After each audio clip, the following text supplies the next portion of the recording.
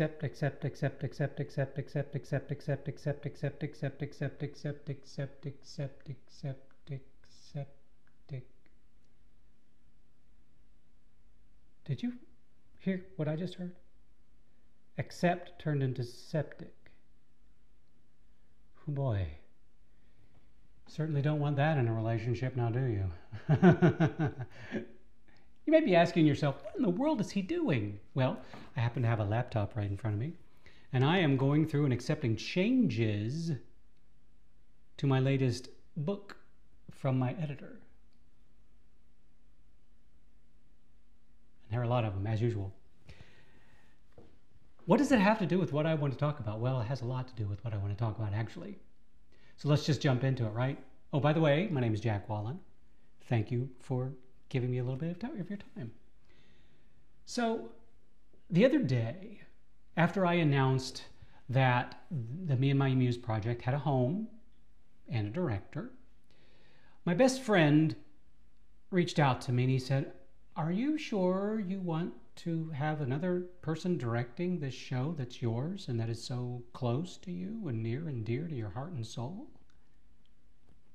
Now, you have to understand that he's coming from a place of not knowing all that much about how theater and TV and film works.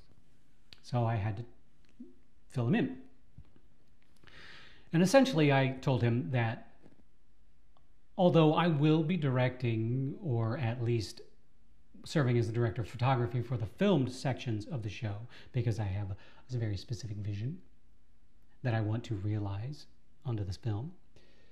I cannot, as an actor, direct myself on stage. Why? Well, now you probably have seen in many instances on TV, mostly TV, not very rarely on film, but actors who direct a an episode of, of a show that they're in. Well, they can do that because they can then see the dailies, watch what they're doing, and then fix it. Now, of course, I could film rehearsals of the show, watch them, and fix it, but that's just inconvenient. And, and the way I look at theater is a uh, collaborative art form. So I need a third party to look at the pictures that we're painting on stage to make sure they, it looks good and no one is upstaging themselves and to make sure that the intentions of me and the other actors are coming off and blah, blah, blah. And I just, it's something that I can't do by myself. I can't do, uh, I can't be on stage and in the audience at the same time. Although, again, I will mention that that sort of happened to me once during a production of Amadeus, but that's another story for another time. So after I, I had that discussion with him, I decided that I wanted to talk to you about something that I've mentioned before on a number of occasions.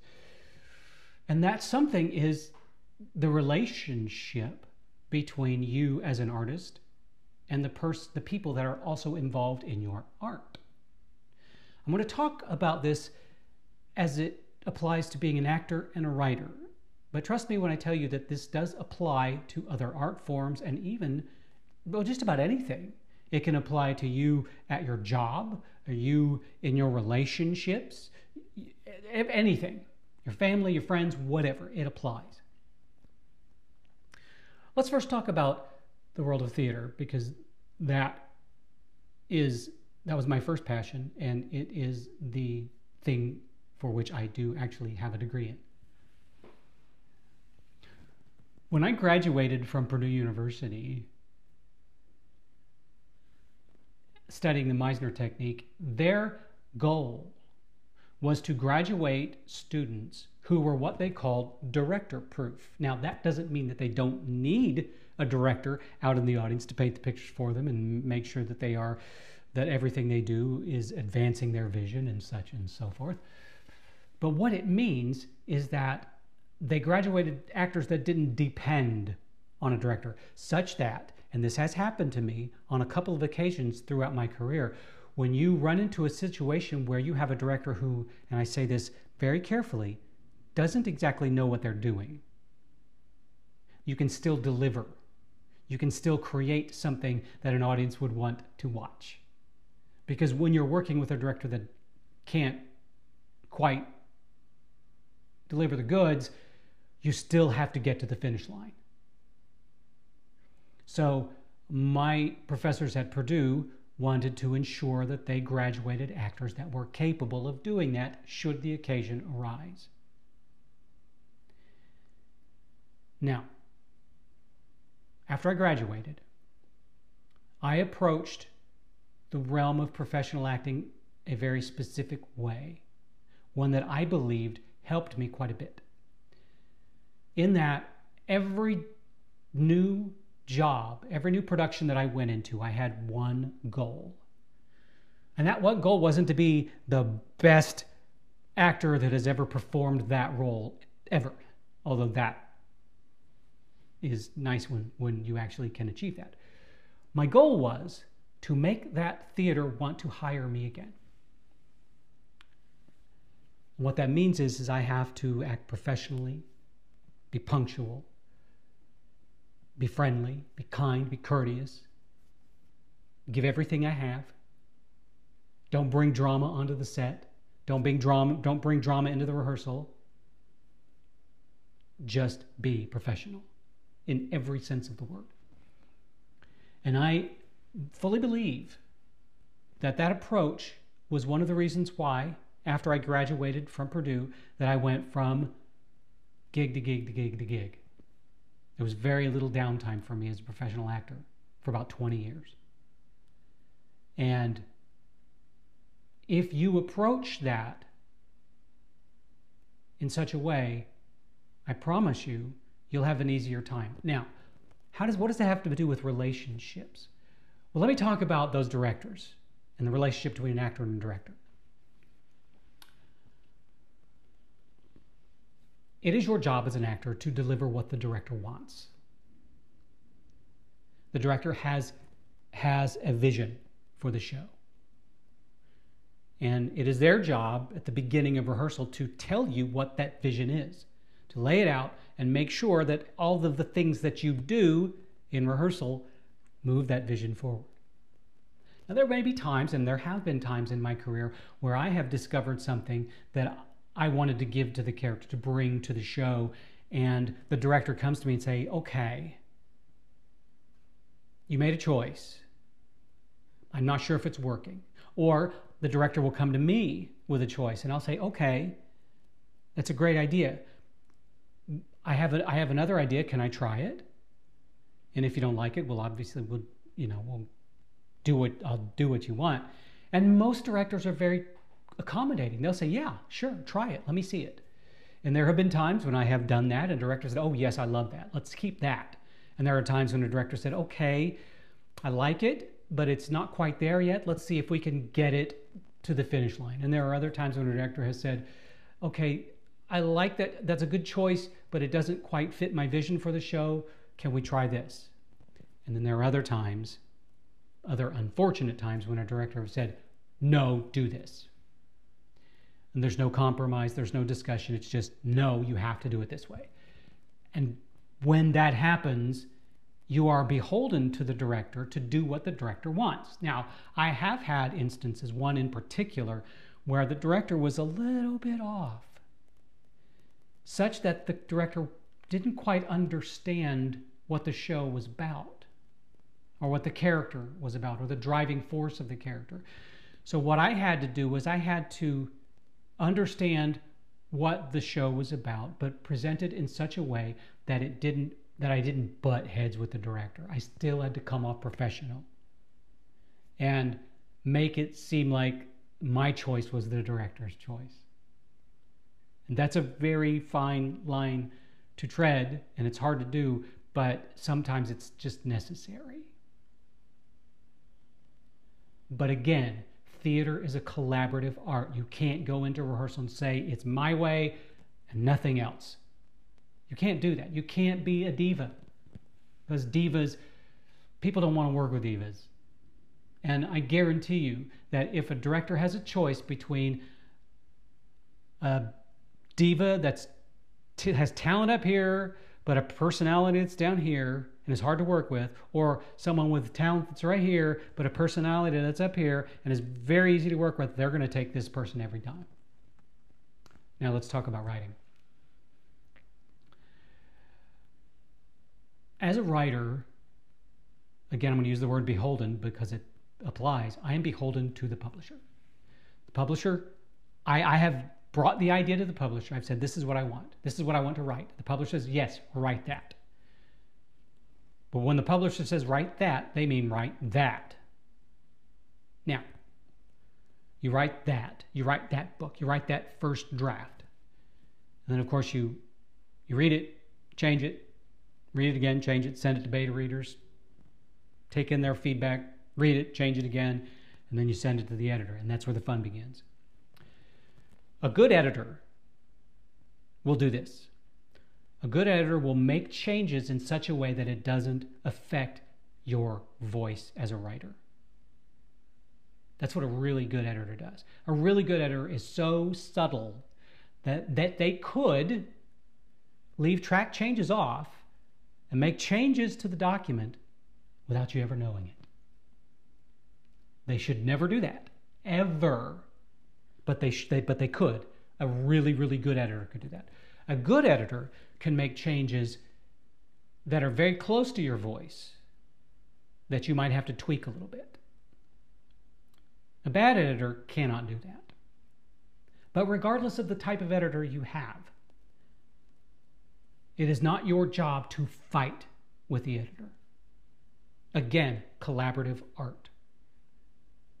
It is your job, your job and the editor's job to work together to improve the book. And that is truly all that an editor is trying to do is make your book more readable. So when you start getting arrogant and angry about the changes that an editor is making to your book, then there's going to be a problem. Because you have to step back and ask yourself, why am I getting angry that this editor is making these changes in this manuscript? Especially if the goal of the editor is to help make this book more readable. They're not going to change the story unless there are problems with the story. And if there are problems with the story, they're not going to change it. They're just going to make suggestions. But their their ob, their objective is to not change, is to change as little as possible, while making it still making it better, while improving it. I have reached the point, especially with the editor that my publisher's editor, we have we have reached a point in a relationship where I, as I was doing at the very beginning, I was just going accept, accept, accept, accept, accept. I can go through the track changes in those documents that I get back from my editor and just just start hitting accept until I get to a comment. Then I go, okay, stop. Let's address this comment. Because when she makes a comment, that means there's something that's either wrong or something could be improved. It's not a simple change in grammar. It's not a change in a comma or a change in an ellipses or a semicolon or, or a, a corrected spelling. It is literally the, a comment that says, okay, we need to address this. Let's do that. So I stop, I address it, then I go on, accept, accept, accept, accept. Oh, there's another comment. Let's deal with that. I know writers. I know two different, I know, I know many types of writers, but there are two different writers I want to talk about. I know writers who will just open up their manuscript from an editor and go to track changes, accept all, and they're done. Then they have to go back, go through the comments, and go, okay, I got to address this, I got to address this. And then there are then there are writers out there that will go through the comments and just reject all because they think their crap doesn't stink and the first draft that they send the editor is the penultimate version of the book and nothing should change, period. They wrong. That's why we need editors. Because we as writers cannot see everything in our book. We do not see all of the mistakes. I have, I'm not kidding, I have written a book, read it, correct it as much as I could, send it to beta readers, get it back, reread it, and still found problems after the second reading from me and the beta readers. And let me tell you this the way I write, that second rewrite or second read is actually a third read because every time I write something, I go back to what I wrote the previous night and reread it and edit it as I go. So I am living proof that writers need editors, that we cannot see the mistakes that we generate because my, my brain is going to self edit those things and see what it meant to write. Sometimes that means I'm going to fill in the blanks and fix the problems without actually seeing them. So, the relationship between writer and editor should definitely be a collaborative effort, and it, the writer should be in a position to say, okay, the, the editor is there to make this read better. They are not my enemy, they are my friend. And if they say something is correct, most often it's correct. If they say something is wrong, most often it is wrong.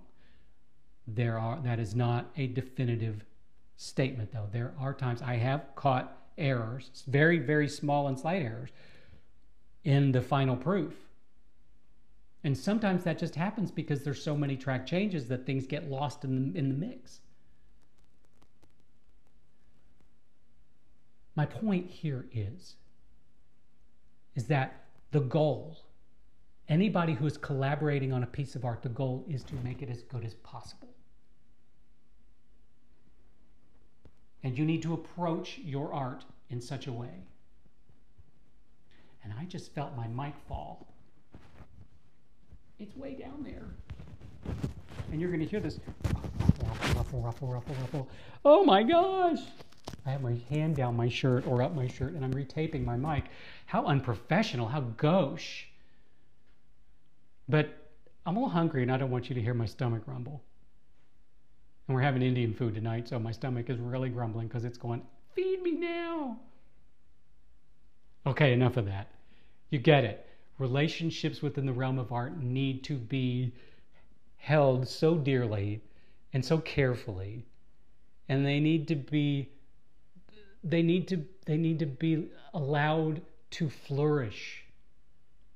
Not, you don't want to strangle them. Because if you do, if you prevent them from flourishing, they are going to go in the opposite direction, and chances are you might not work with that person or that company ever again.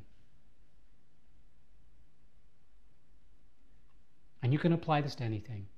Go into any job, any relationship that you ever experience with thought, I want to make them want to hire or be with me again.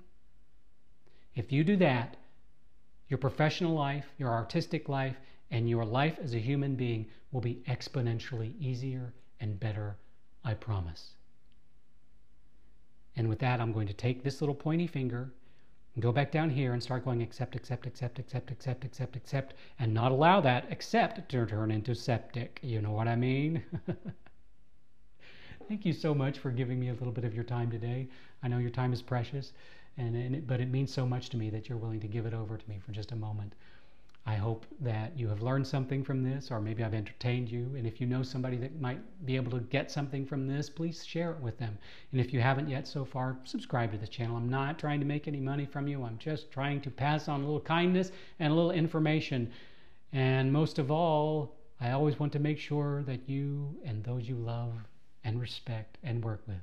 Have a wonderful, wonderful day.